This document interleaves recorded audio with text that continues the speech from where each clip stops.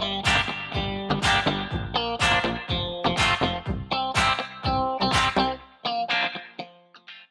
Everyone, it's Katerina with Meat Fueled Living and we are in my kitchen again for another one of my test type recipes.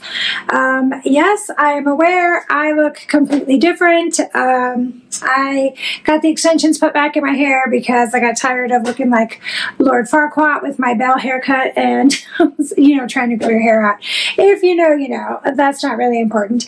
Um, also, but you guys look at these glasses. Check these out. So you know, I'm always wearing my Hogwarts sweatshirt. Um, I need to find the rest of my Harry Potter clothes, but I'm a definite Harry Potter freak. And I got a pair of the pair glasses that have the Harry Potter.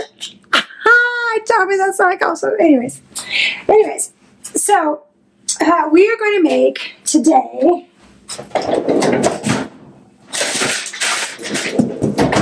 We are going to make today a dupe of sorts for the Egg Life wraps. Now, I happen to love these Egg Life wraps. They're very clean. They're just egg whites, salt, xanthan gum.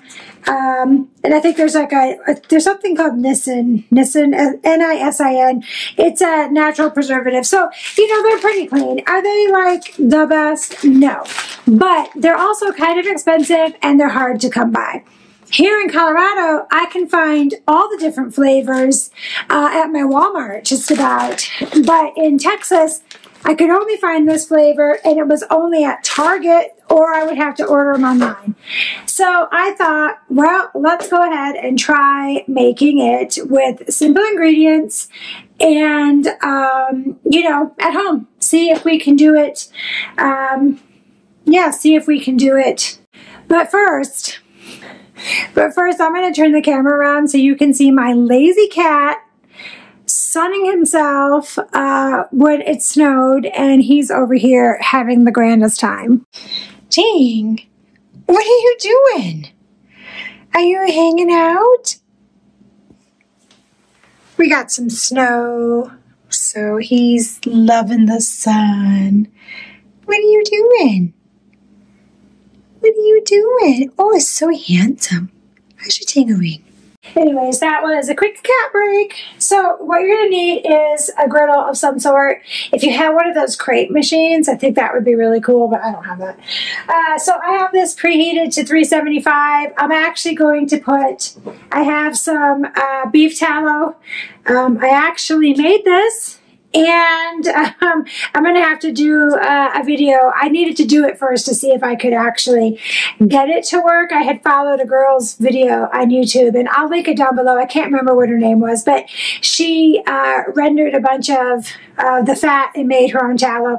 And so I'm going to, you know, I strained this through cheesecloth and stuff, and I'm going to actually make some whipped tallow. I've been seeing a lot of people out there doing it, and I thought, oh, that'd be really nice for my dry skin. But I'm going to actually grease this with some of my homemade tallow. And even though this is non-stick that way, I know they're not going to stick. Stick.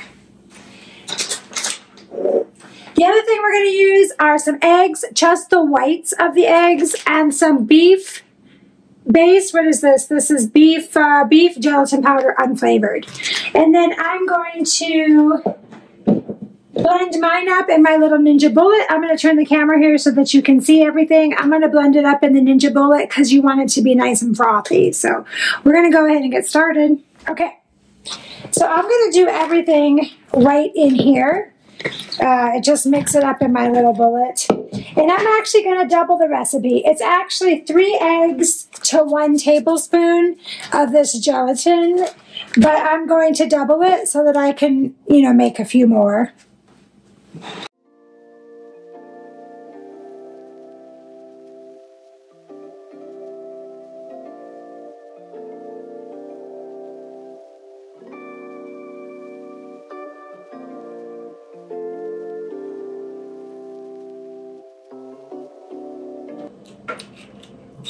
So, you know, that's not my strong suit.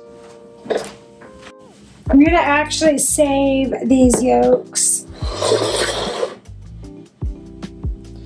and make a mess. You guys don't judge me because, you know, I don't, oh 40. I don't know what I'm doing half the time. I guarantee there's a better way to do this and there might even be a tool for it, but this is this is how I do it.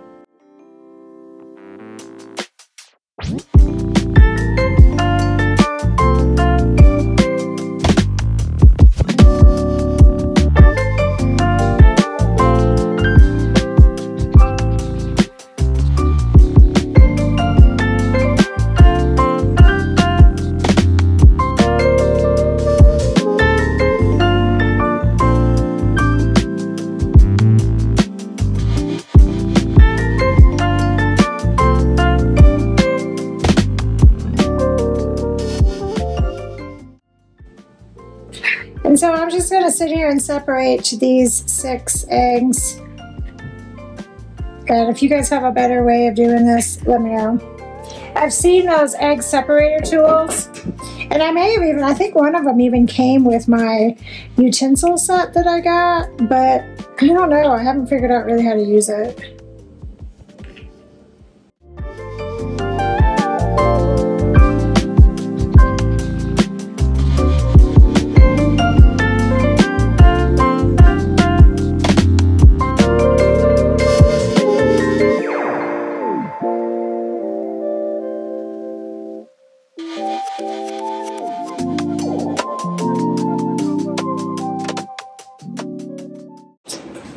Okay, and then we're going to do two tablespoons of this beef gelatin. Again, it's three eggs to one tablespoon, but I went ahead and doubled the recipe.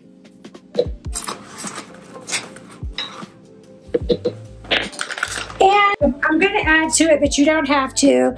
Uh, there's a hair right there. Um, is just some salt. If you're doing other seasonings, you could do this as, you know, you could do everything but the bagel in here or cinnamon if you wanted to do a little bit of cinnamon. I'm just going to add a little bit of salt simply because I do like mine to have that. And then I'm going to just blend this up.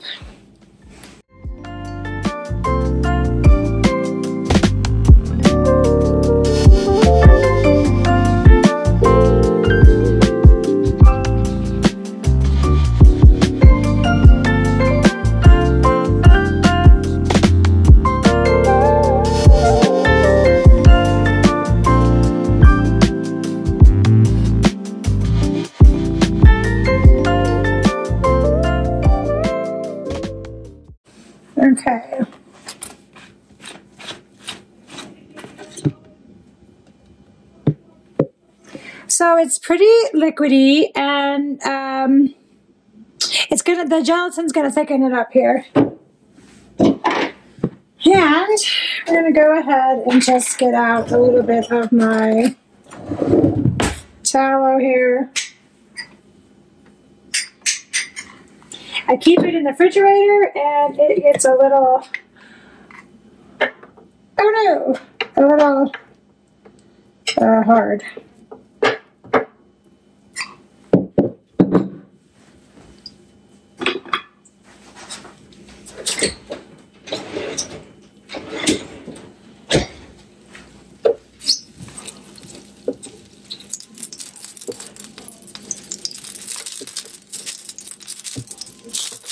Okay.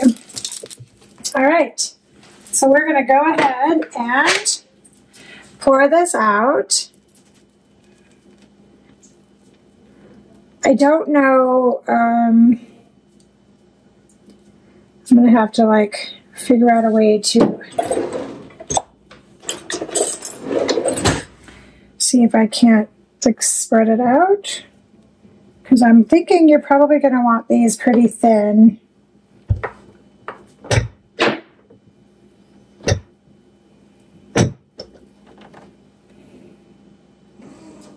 You guys, there's probably a better way to do this, but you know what? I don't know what I'm doing, so we're just going to make this up as we go.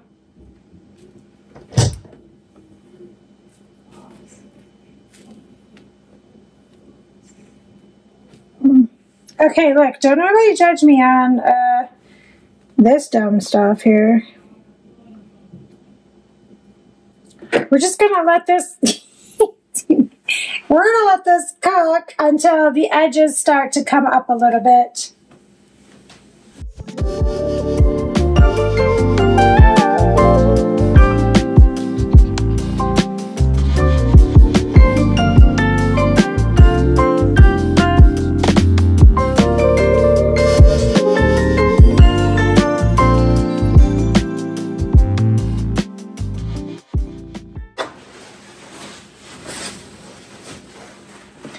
How the, the edges are starting to curl up? They're probably okay. Oop, nope. And look, see, I even, I hit this with tallow and you hear how it's still sticking.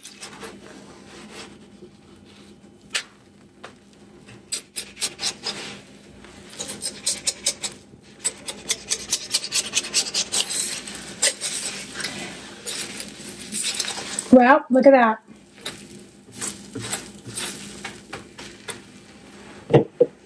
Obviously, that's not how you want to do it.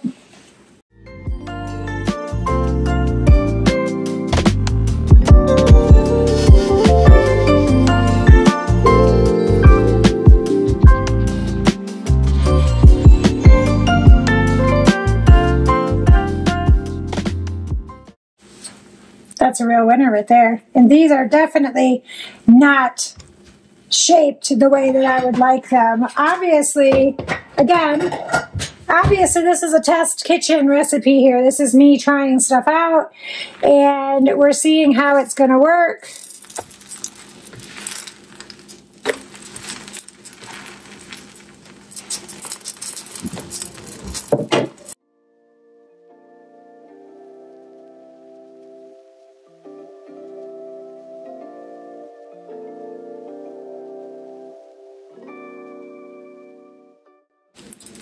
Right, we're gonna take this guy off. And we're gonna try this again. We're gonna try it. We're trying it.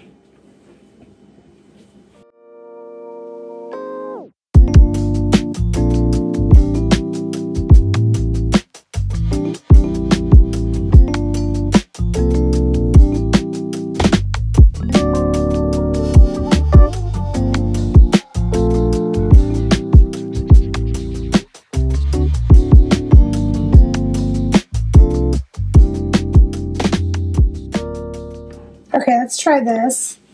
See if this works.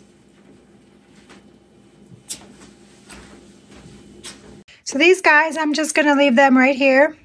I'm just going to keep letting them cook really good.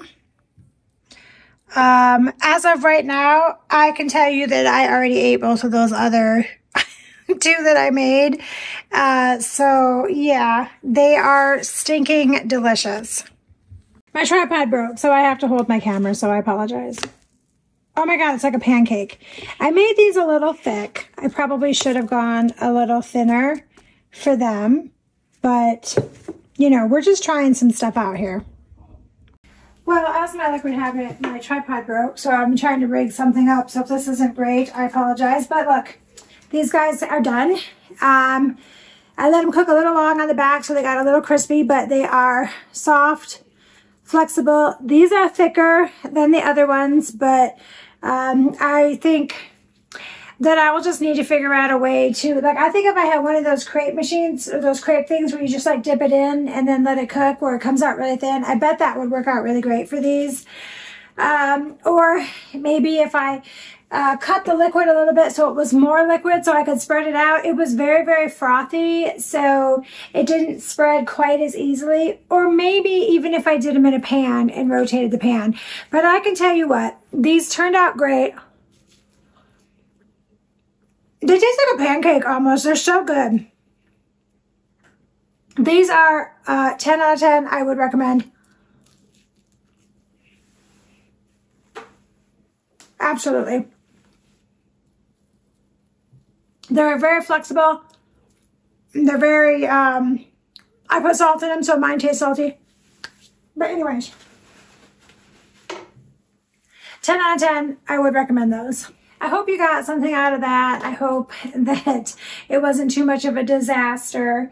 Um, like I said, I'm always trying to test things out, trying to, you know, stretch my boundaries because for me as a whole food, plant-based vegan, I almost never cooked anything, occasionally potatoes sometimes rice, but as a rule, I just didn't really cook anything. So I'm constantly stretching my comfort skills in the kitchen, and this is yet again another one of those instances.